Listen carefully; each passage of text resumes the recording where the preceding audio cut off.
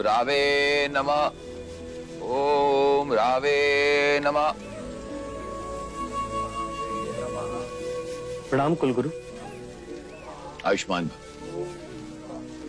ये पूजा पाठ ये जप किस लिए? आपने एक प्रश्न पूछा। अब मैं आपसे एक प्रश्न पूछूँ। जी। आप अपनी माता महादेवी प्रजापति से कितना स्नेह करते अपने प्राणों से भी अधिक। यूँ समझ लीजिए कि यह यज्ञ उनकी खुशी के लिए आप मन में बिना किसी संदेह के ये विधि संपन्न कीजिए।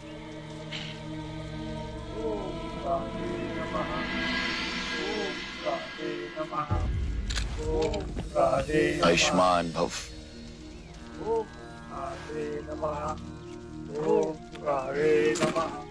विजयी भव।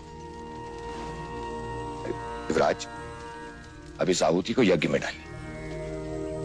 ओम रावे नमः। ओम रावे नमः। ओम रावे नमः। ओम रावे नमः। ओम रावे नमः। ओम रावे नमः।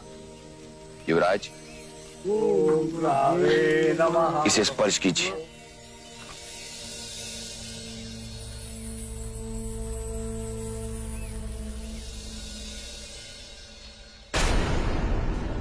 अब इसे तिलक लगाइए। वो किसने? जो शस्त्र सुरक्षा करे उसकी पूजा भी तो करनी चाहिए।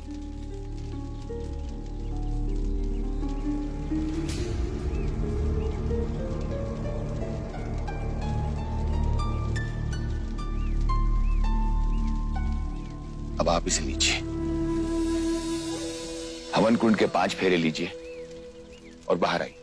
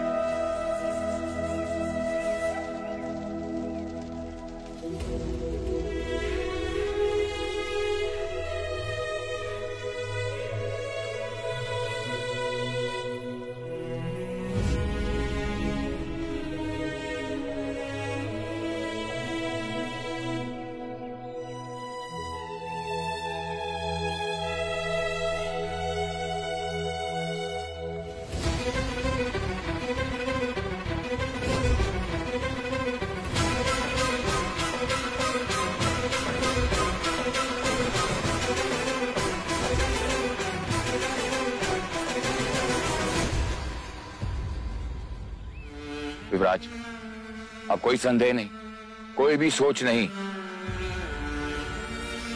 ये यज्ञ आपकी प्रजा के लिए, आपकी माता की खुशी के लिए है। ये यज्ञ कपिल वस्तु के भावी सम्राट के लिए है। ये यज्ञ आपकी कुंडली में पड़े पापी ग्रहों के लिए जो आपके प्राणों की बलि चाहते हैं।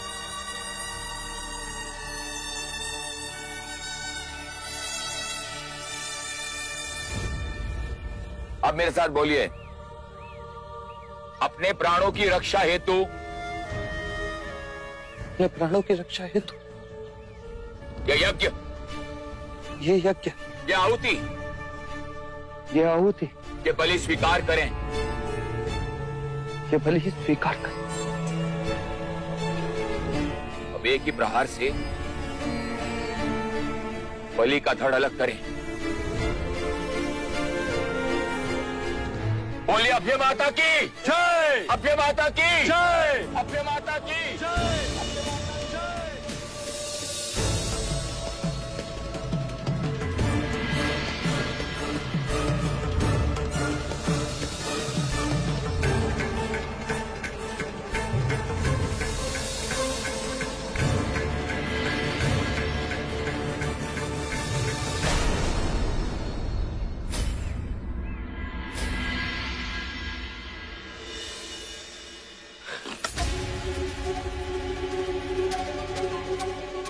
आपने क्या किया युवराज?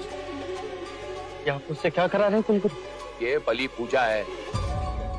आपको माँ अभ्या को बलि चढ़ानी है। क्यों? किस लिए? इस बलि के बाद आपके सारे संकट समाप्त हो जाएँगे।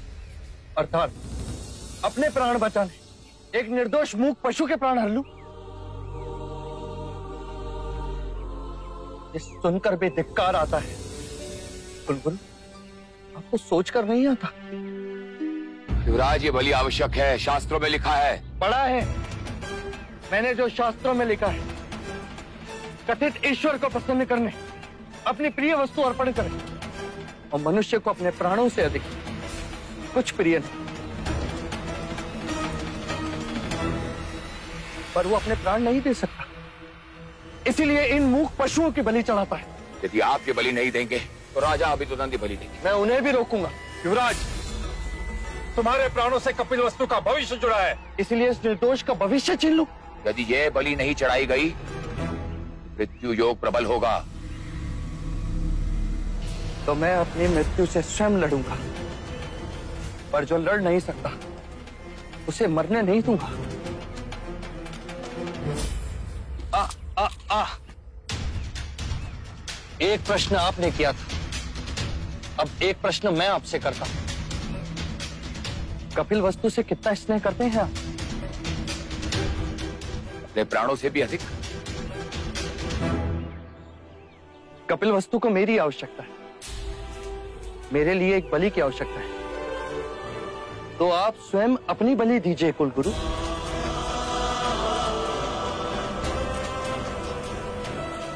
मेरे संकट भी टल जाएँगे और आपकी पूजा भी पूर्ण हो जाएगी।